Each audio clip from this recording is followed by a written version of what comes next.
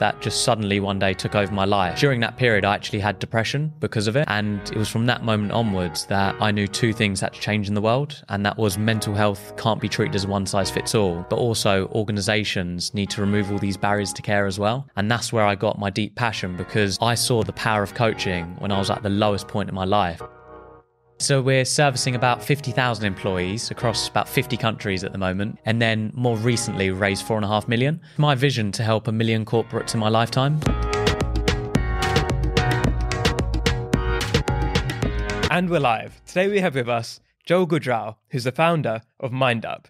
They're a mental health platform that offers both clinical and non-clinical ways to support people's well-being. If you're joining us for the first time, we're the BAE HQ, and I'm Mama, your host. We're all about inspiring the next generation of British Asian entrepreneurs. If you enjoy this episode, make sure you leave us a five star review on Spotify and Apple and subscribe to us on YouTube. So let's dive in straight away to your story and like where you came from. So when you're growing up, like what did you want to be? What were your hopes and ambitions? So probably went through several things actually. But first I actually wanted to be a doctor or dentist. And then I picked sort of dentistry to pursue.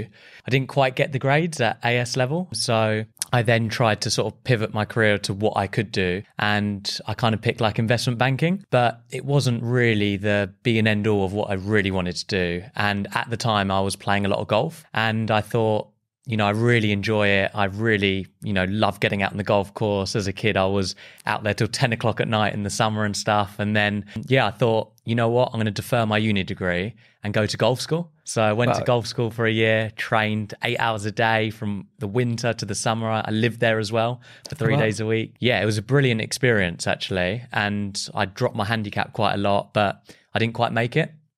So then I then went to do banking and finance management at Loughborough University and basically started out that way. So it's interesting there because like even at that early stage, you had two quite big setbacks, right? You had your dreams, I wanted to be a dentist, that didn't quite work out. Then you worked really hard for a year to become a golfer and that didn't work out too.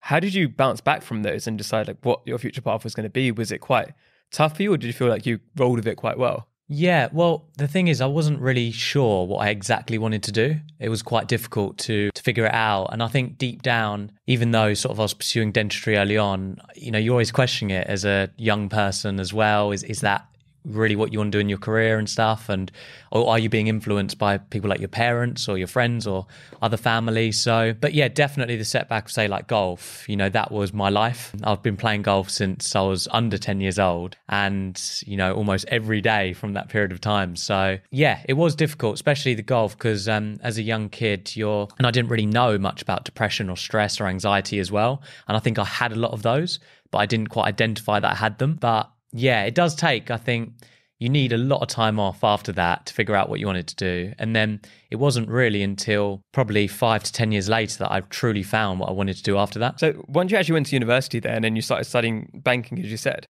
how did you find that experience? Were you thinking, okay, I want to become a banker, I want to go into this career? Or did you doubt that too? like, when did you start deciding maybe you can start your own business? Yeah, so that's definitely what I wanted to do back then after, you know, um, not being able to become a golfer. And yeah, I did a placement year at university as well. And a lot of my friends were in investment banks. I was in private equity for some of it and also in investment banking recruitment. So I got good kind of industry wide knowledge. But really, I think it showed me that, you know, the corporate sphere isn't really what I want to do. And I did actually start my first business, tried to start it when I was in second year of university. And I did it with someone called Mitchell, and he was a tech person, and I was on the sales and marketing front of it. And it was an online shift management software. We almost got our first paying customer, yeah. but then we didn't quite get them. And we were doing a lot of door knocking on, um, so it was because it was online shift management software, we're trying to get sort of enterprises signed up. So we would walk into Premier Inn. And I remember we went to Stratford once and we are trying to walk into shops and hotels and things trying to get people signed up. But it was a great experience, but we didn't quite make it with that one. Then I did my placement year after that, realized, you know, didn't really know then really what I wanted to do, but I thought, you know, banking is probably the thing I should try and keep going with. And then um, I did a fruit tea company as well after that because my parents actually owned a tea company and we were packing and wrapping as kids and stuff. And I learned about I learned about business from them and learned a lot about the tea industry actually. And I noticed a gap in the market for creating your own healthy tea, one box minimum. So then I created that. We outsourced it to a factory and we had some paying customers with that one.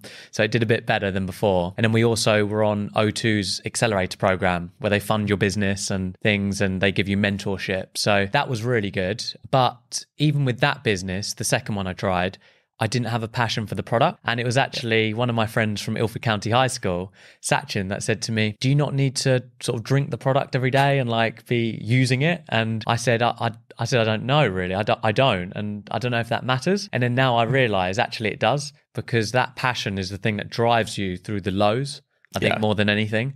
And it gets you through those periods of dips. So, yeah, it was very interesting. It, it, it took me a long time, really, to figure out what I really want to do. And I think it took me until I was about, I'm 29 now, until 25, 26, actually, to realize exactly what I want to do in life. What, what I'm getting from your story as well, even for example, the door knocking, there's so many successful entrepreneurs across the world who've had that sales experience because what you're learning is to deal with rejection. Yeah.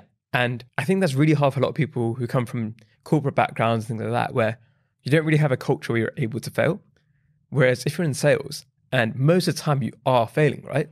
Most of the time people will say no to you. Hmm. And it's really hard to deal with. And even with what we're doing, everybody's doing, you're going to get more no's than yeses, but people only remember the yeses. Looking at that as well with the fruit tea company that you said, how did it feel to get those first paying customers? Because that's your first experience of like, after having not got it for the previous company, the software company, to now be like, yeah, people actually like what I'm doing. How did that, how was that buzz? Yeah, it was really good actually. We had a lot of support from our friends as well and things that really liked the product and stuff. And yeah, it felt fantastic and it felt like we actually had a company and it felt like we'd actually taken learnings from previous the previous company and actually used it. And yeah, I thought it was going to be like a really good success and things. And e- even though, you know, we had a lot of advice on the way as well. And I think the key one was not making that many like assumptions and mm. trying to test your product and validate it. And I didn't know quite what that meant, but we still made assumptions anyway. And I think that was the next learning point. But yeah, I, I think you know it's it's a case of the hundred no's for the one or two yeses is the reality, and especially the reality of sales, and especially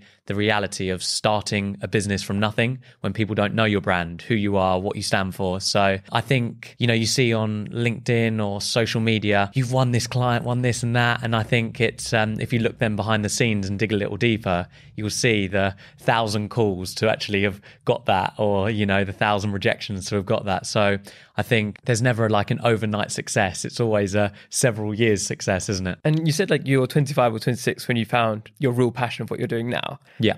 Can you tell us the story behind that? Like what happened there? Yeah, so after the fruit tea company didn't work out, um, so I actually deferred my graduate job to do the tea company full time, actually. So I did that again. So I did one before uni, one after uni. And I then joined a large accountancy company and did internal audit there. You know, I didn't really know if that was going to be my calling in life, but I went with it for about 18 months. And during that time, I actually had a physical illness that just suddenly one day took over my life. I was going in and out of hospital and I had breathing problems and chest pain and they thought it was heart problems and they were doing echo scans and lots of different things. And they eventually found out it was a un, like a gut condition so they treated that. And dur- during the 8 month period of them trying to find out what it was I was bedbound for a lot of time and I basically I um I couldn't live a normal life really. It was hard seeing my friends hard even going to sleep at night some nights because I was worried about waking up and not being able to breathe and things. And after that I then during that period I actually had depression because of it. But it wasn't depression that lasted a day or two. It was depression that lasted months and I'd never had that before. And when I reached kind of the lowest points in my life I reached out to my company for mental health support but they didn't really know where to signpost me. So I got put forward to HR HR were then saying occupational health counseling could help me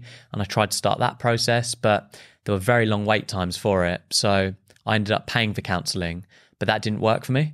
And it was actually a life coach, a mindfulness practitioner called Jermaine that saved and changed my life. And it was from that moment onwards that I knew two things had to change in the world, and that was mental health can't be treated as one size fits all.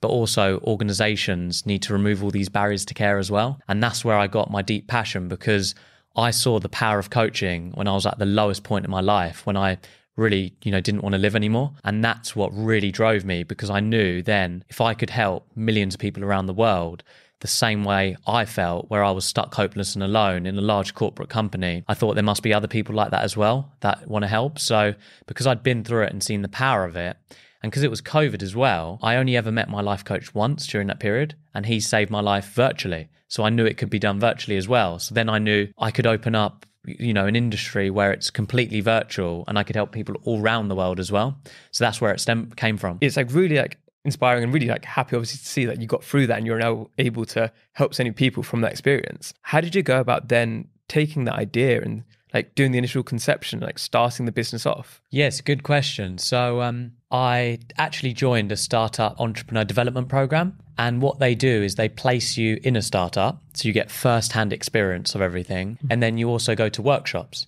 every two weeks with a cohort of 40 other entrepreneurs. And I did it because my sister went on it previously and she said it was absolutely brilliant.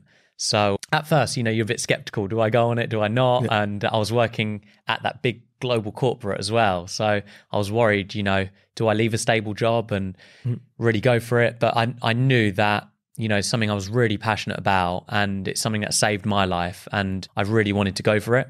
And, and mental health became something that was part of my entire life now.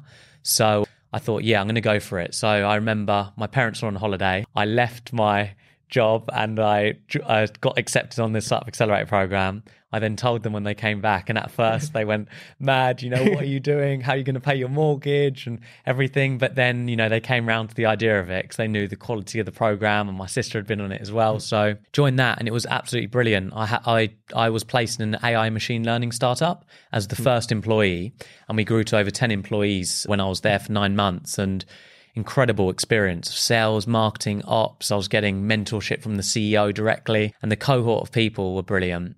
And you also got matched with a mentor because the uh, program was funded by Blackstone, London Stock Exchange, and Rothschild.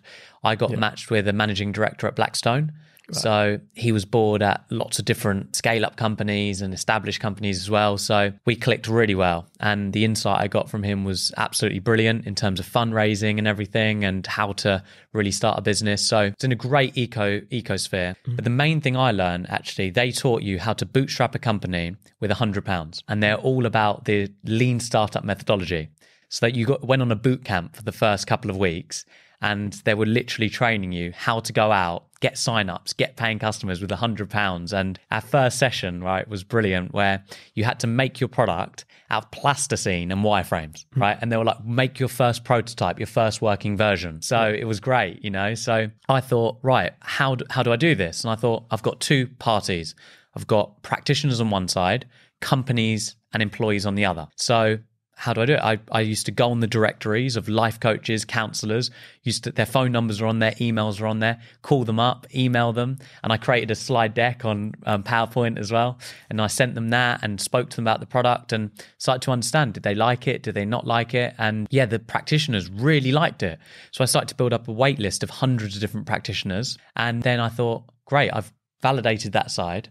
I now need to validate the other side, supply side and the other side of demand side. So that demand side, because I was working in sales, enterprise sales in the AI machine learning startup, hmm. I learned everything about how to basically sell to enterprises. So I went to do that and I used to cold call, cold email, go and visit people. And eventually, after I, I, actually started all of that in April 2019, by the end of 2019, I then managed to get my first client called the Office Group who said yes. And it was an amazing pitch that I had. So I met the chief people officer. She heard my story and she said to me, I remember the question. She said, What are your other clients doing? Yeah. And at that point, I thought, Oh God, do I, what do I do? And I thought, I'm just going to stick to my values. I'm going to be honest. I'm going to say, I don't have any other clients. I'm looking for my first client to take a chance and pilot my services. And she said, Wow, thank you for being so honest. I love your story. I love what you're doing. I'm going to take that, I'm going to give you that chance today. And it was hmm. amazing. So we piloted across the whole of UK and Europe. And I thought, I'm going to really do this proud for myself, my story, and helping others as well and and for her taking a chance on me as well. And yeah, it went brilliantly. And I used to call every customer after their session and email them to check in how they're doing and really give them the best support and make sure they're looked after. And yeah, we've basically scaled that same model of having a real good sort of really care care model basically of looking after people. Yeah, and obviously at the beginning, like you said, it was just you doing this and cold calling. And then you had to then get other people on board, right, to build out the product. Yeah. And like, how did you go about those first few hires to this team? Because obviously, when it's something so important to you, right, to your story, and yeah, because it's your background and what happened to you, how do you then find people that align with that? and also give them the freedom to do what they're good at too. Yeah. No, it's interesting. So, wh- when you say build the product, actually, because you know we were learnt the very lean startup methodology, I didn't know how to code, and lots of people were saying, "Oh, you need tens of thousands of pounds to start an app," and I was thinking, but there's loads of no code code tools online. Hmm. So I actually built the website. I built the whole product, even as you see today. That's still my version that I built in my bedroom. You know, Yeah. so I you didn't need that much, and you can basically obtain your first client with a demo, with a deck, mm-hmm. and then use that money when they pay you to then fund the rest of the business and get it to a point. And eventually you might need some funding as well. But yeah you're right. Those first few hires are key. We didn't actually get our first full-time hire until the end of our first year actually mm-hmm. So uh, we had freelancers and things but we were servicing at that point about 20,000 employees with me and some freelancers and obviously all of our practitioners as well. Yeah, we kept it very lean. I think building out your senior leadership team and your management team is really key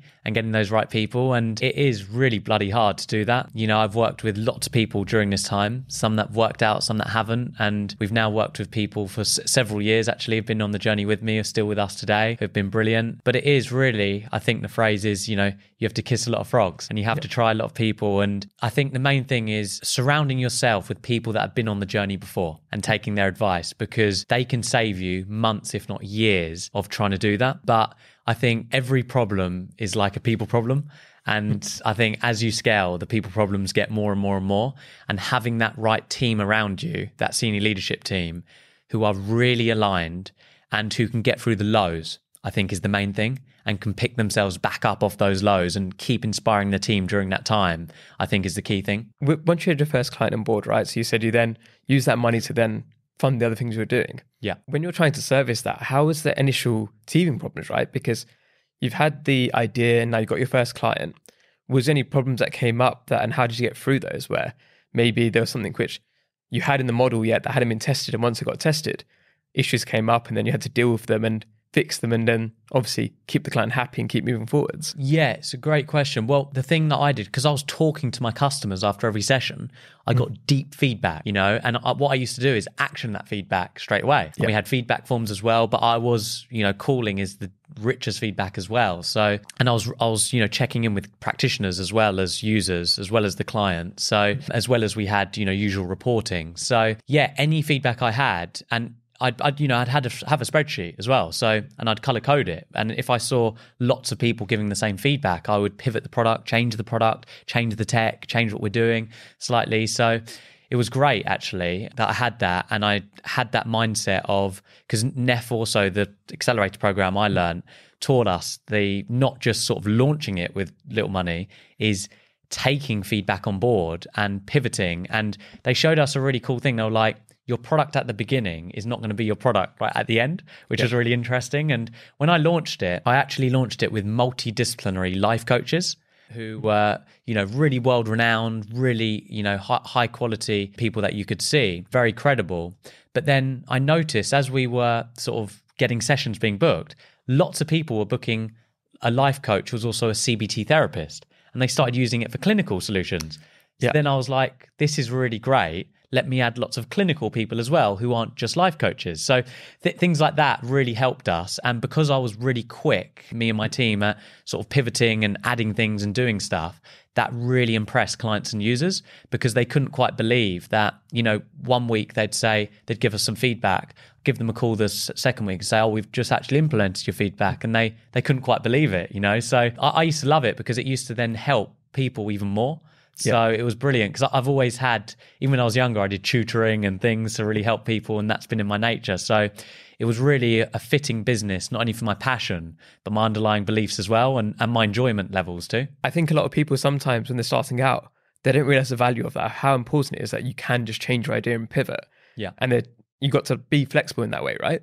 And like I said, where you obviously, because life coaches changed your life, you could have been like, oh no, this is the theory. We- Everybody's going life coach is going to change everybody's life. Yeah. Whereas you had the flexibility and the maturity to realize actually that's going to help some people, but the therapist is also going to help other people. Yeah. So it enables you to help more people by not being so fixed in your mindset. Yeah, definitely. I think I think yeah, ha- having having an open mind is key, and I think but making data driven decisions is also key because I think if you make lots of assumptions, that's where I see a lot of people, even myself, you know, with mm-hmm. fruit tea and, and the other one that I did, we made a hell of a lot of assumptions that they would like all these flavors and we spent thousands of pounds on these products and we thought they'll just come to us. And I think that's what I learned is that gather the feedback on board.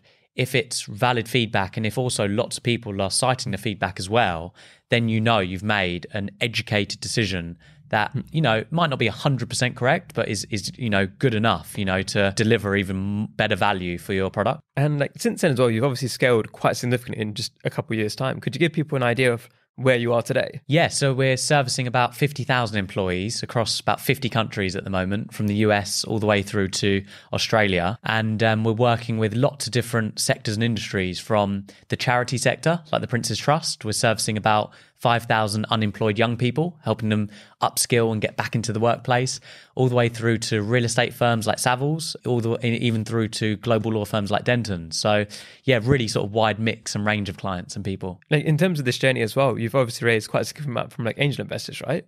Yeah. And that's something which I think is now I think is, is people become more aware of how you don't necessarily need venture capital money, where angel investors can sometimes be better aligned to your mission yeah. and then help you achieve more of what you want to achieve. Whereas VCs, traditionally, you might think, oh, they want to just make you grow as fast as possible so they can get a return. Yeah. And like, what was behind your decision behind getting that investment and then choosing to go mainly with angel investors as opposed to, say, traditional finance? Yeah. So it's a really good question, actually. And I've learned over the years a lot about the different types of parties. And also, you know, speaking with lots of founders, you hear lots of different stories, good, bad, horror stories and things. And you start to get a good feel. And you know, I, I, think the main thing for us is in our first two years, we didn't raise a significant amount of money. We raised about 500k in our first couple of years. And then more recently, we raised four and a half million. So five, five million in total. And that four and a half million round was the one that I really was considering venture capital money, private equity money. And we kept a complete open mind. We mm. spoke to lots of angels, family offices, and so, so many different types of people. And, you know, our, our, investors, a lot of them were managing directors at Blackstone or Deutsche Bank or other companies and very seasoned investors. And their advice was it's the best thing to do is try and keep it as a friends and family club and that they can help us do that with introductions to their network as well. So, and they gave me all the benefits of that. But even though they did that, I still remained open minded and I still had the conversations with VCs and other parties. But as I went further and further on the journey, I realized that having that friend and family club atmosphere was going to be the best thing because uh, previously we were that, you know, with the 500k funding with just angels and things. And it was brilliant, really. The support was phenomenal. You can talk to them at the end of the phone whenever you like. And, you know, they weren't aggressive at all. And, and they're also, you know, very human. You know, a lot of our investors, their mental health means so much to them, especially our lead investors as well, been very vocal about that. And they come in and meet the team and it's great, really. I've really enjoyed it because they have really become really close friends and, fa- and almost like class some of them as almost like family members to me. You know, it's not some of them even say, "I feel like you're like my son now." You know, yeah. the amount we talk, the amount we've been through together, and yeah, I, I think it's uh, it's a really good atmosphere. I'd say, but I, I, think you know, I think it's not for everyone, and I think venture capital money, private equity money, it depends how quickly you want to scale, what you're looking for. You know, if you really need that support on your board as well, then it's it's really good and really good hygiene for that. And I think there's no right way. There's no one size fits all. You've got to pick what's right for you. It's interesting as well because like I've started angel investing myself, where what I'm able to do for some people is I'm able to maybe make a bigger impact than other bigger investors just have more time available. And because I believe in those companies, and that's something maybe some people don't realize as well, but angel investors is not necessarily the biggest check is the best check sometimes. Yeah. It can also be some of the smaller checks really care what you're doing and they give you a lot of free time, which helps you a lot too. Yeah, 100%. Yeah. I, I think, regardless of the check size, you know, some of our angels have put in between 10 and 10 and 30k for instance you hmm. know and i speak to them so much and they give me so much time but then others that have put in bit we're quite lucky actually so hmm. some of the ones that have put in the biggest checks really do help us as well and hmm. i think it, it's a great atmosphere because a lot of them have come from their network as well. So, you know, mm. like say uh, James Lock is one of our lead investors, as well as Sam Norman, and they then, you know, really saw our growth and invested early. And then they're like, you know, I want to tell our friends, and then they tell their friends, and yeah. I've had a lot of referrals like that. So it's become a really sort of close knit network as well, where we all know each other. And and yeah, pretty much we don't have that many just sort of like, you know, sort of one person who we, we kind of don't know. Everyone's mm. kind of connected, which feels really great. And we can all then really trust each other as well. Looking forwards as well now. So you've got this big four and a half million round come in. Congratulations on that as well. What's now the dream? Like where where are you looking to take MYNDUP? Like what should people be listening right now? What should they be looking out for? Where's the path going to be? Yeah, so I mean, it's my vision to help a million corporates in my lifetime. So I'm really set on that to help as many people around the world as possible. And we're a team of 24 at the moment, uh, full time. We're hiring another 15 roles in the next 18 months. So and that's across design, sales, marketing, lots of different tech, lots of different roles. So it's re- really exciting time. And we've just got our office space in Liverpool Street as well, which is brilliant. So if anyone's in the area, drop me a line on LinkedIn. Definitely come in for a coffee. And yeah, I think we're really excited actually about building our tech now because you know I've we're still using the version that I built. So and there's so much for us to do. You know, we've got at the moment a part triage process for you to find the right person and specialism but we're actually building now an AI machine learning triage process. So you'll be able to go on there, answer a few questions, and within seconds, you'll be matched to a person and specialism. So we're going to speed up that time for you to find care.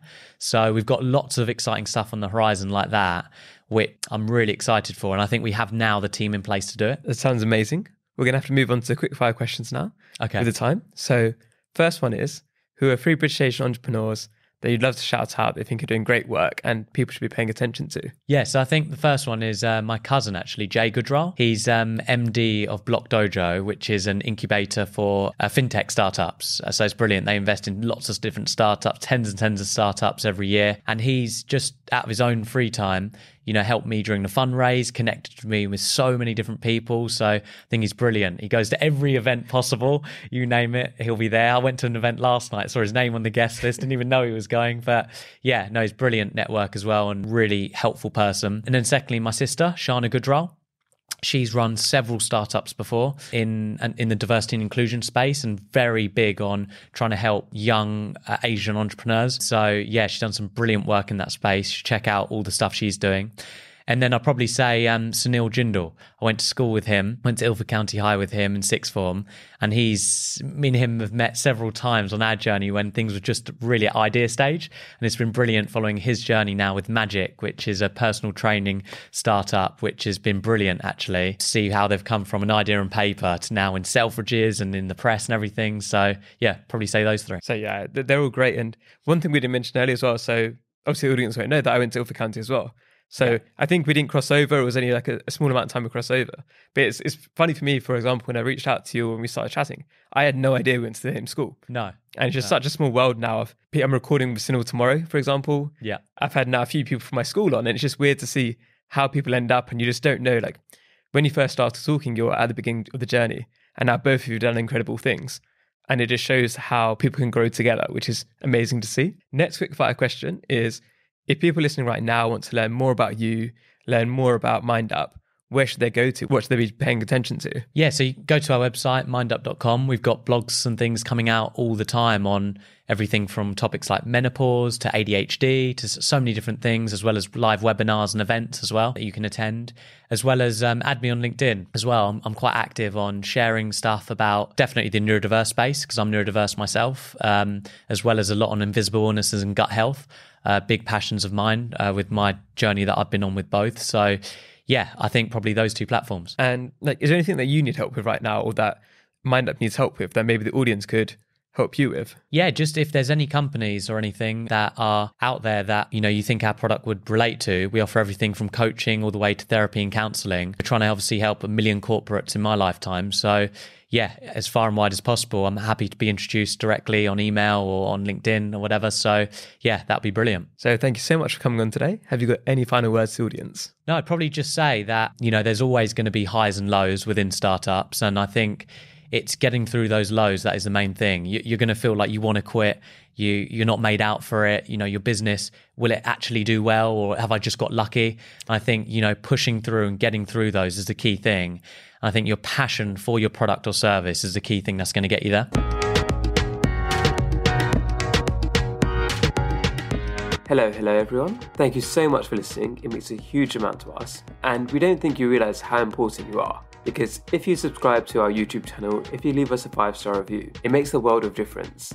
And if you believe in what we're trying to do here, to inspire, connect, and guide the next generation of British Asians, if you do those things, you can help us achieve that mission and you can help us make a bigger impact. And by doing that, it means we can get bigger guests, we can host more events, we can do more for the community. So you can play a huge part. So thank you so much for supporting us.